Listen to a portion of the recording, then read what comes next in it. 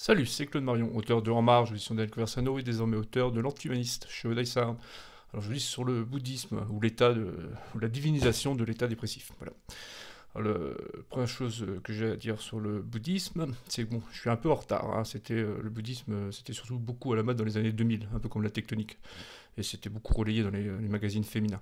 Maintenant, ça a été remplacé par ce que j'appelle les micro-sectes New Age énergétiques, c'est-à-dire on a troqué le néant, le nirvana, contre des croyances pseudo-religieuses associées à la science. Donc le proto-modèle, c'est Raël, c'est-à-dire qu'il mélangeait le clonage et l'extraterrestre.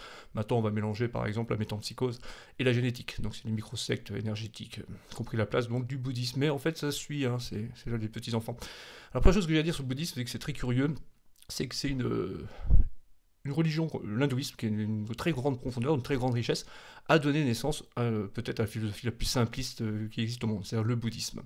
Simpliste. Oui, et très délétère. Alors, euh, il y a les quatre vérités de Bouddha, mais en fait, elles sont, on peut les résumer en deux. C'est, euh, je sais pas pourquoi il y en a quatre. Euh, en fait, c'est quoi la vérité de Bouddha? Tout simplement, c'est ça. C'est la souffrance et la racine. Non, le, le désir et la racine de la souffrance. Donc, il faut exterminer le désir pour arriver euh, au nirvana ou ne pas être réincarné en autruche, quoi.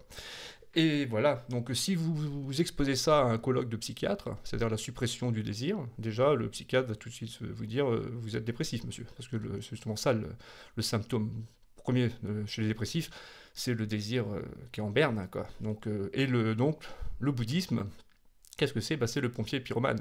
C'est-à-dire que c'est un petit peu comme le, par exemple le, type qui vit dans une vie qui est pourrie par l'insécurité et l'immigration et qui va voter pour la gauche euh, au municipal. C'est-à-dire que ça va, ça va pas arranger le problème, ça va l'aggraver. Et le bouddhisme, en fait, se propose de guérir en fait l'état dépressif en préconisant des horreurs qui, qui rendent encore plus dépressif, quoi. Guérir le mal par le mal, quoi. C'est, euh, mais un mal euh, qui est le même, quoi. Idem.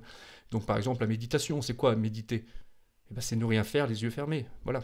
Euh, le, alors, le, le régime végétarien, qui est une catastrophe.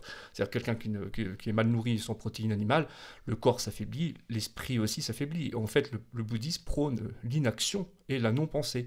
Et donc, c'est une catastrophe. Et moi, j'ai connu quelqu'un qui s'est converti au bouddhisme, et il était en pleine dépression, et ça ne l'a pas du tout arrangé. hein. Donc voilà, c'est euh, ce que j'avais à dire sur l'état dépressif. Et donc là, je reviens. Et vous savez, une seule bonne manière de soigner une dépression, et euh, là je me répète parce que j'ai déjà fait une vidéo, mais vous, vous avez pas forcément vu cette vidéo, c'est le sport intensif. Prenez un dépressif et faites, euh, comme moi, par exemple, 150 pompes, le- levez des haltères tous les matins au réveil. Vos- votre cerveau va recevoir de l'endorphine et vous, et vous allez péter le feu. hein. Là, je fais cette vidéo-là, il est 7h du matin. J'ai fait mes pompes, j'ai levé mes haltères. Vous voyez Est-ce que j'ai l'air euh, déprimé? Non. Bah voilà.